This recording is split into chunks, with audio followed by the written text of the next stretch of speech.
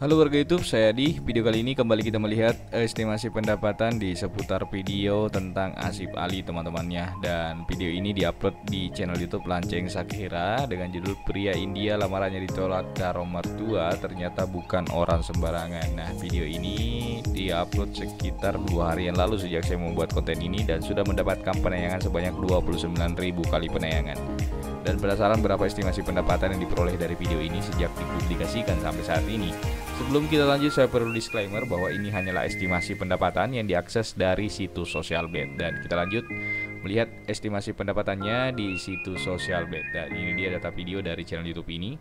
Ada banyak sekali data video di sini dan kita fokus pada video ini dengan judul Pria India lamarannya ditolak calon mertua diupload pada tanggal 20 Februari tahun 2023. Sejak dipublikasikan sampai saat ini, penayangan di video ini sudah mencapai 29.200 kali penayangan, rating 100%, jumlah komentarnya 148 komentar. Dan ini dia estimasi pendapatan yang diperoleh dari video ini sejak dipublikasikan sampai saat ini. Estimasi pendapatannya berada di kisaran 15 sampai 117 dolar Amerika Serikat.